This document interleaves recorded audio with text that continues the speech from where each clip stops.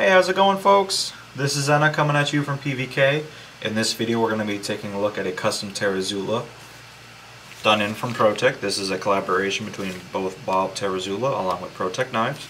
So you can see it comes in this nice fancy wood box detailing all its information along with the month and year it was constructed.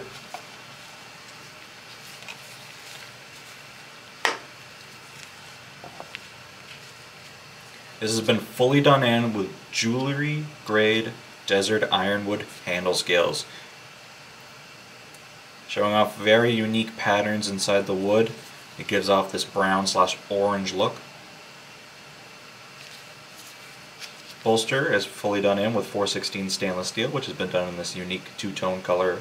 So the front-facing panels are fully done in with that satin finish, but as you can see as it connects to the back, it is fully done in with black.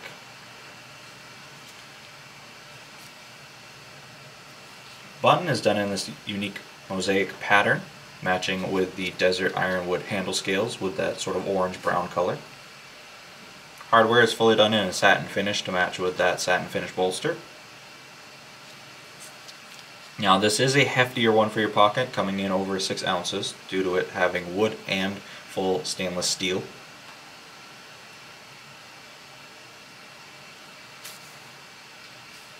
Pot clip is fully done in with titanium in that same black color as the bolsters.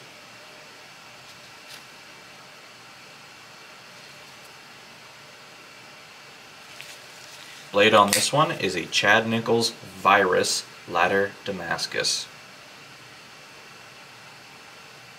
Almost gives off the same kind of patterns that you see in the Desert Ironwood, matching in with the blade along with its handle scale. Definitely a very unique look. Close it up, you just push on the button again and close it by hand. Featuring a 4 inch handle and 4 inch blade, when it's fully open you're looking at an exact 8 inch design.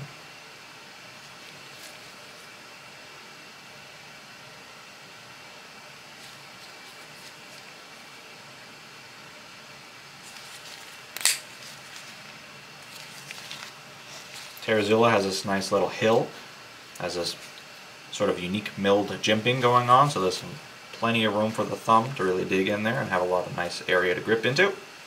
Along with this nice contoured area for the hands, adds a nice grip to it so you can really control the blade.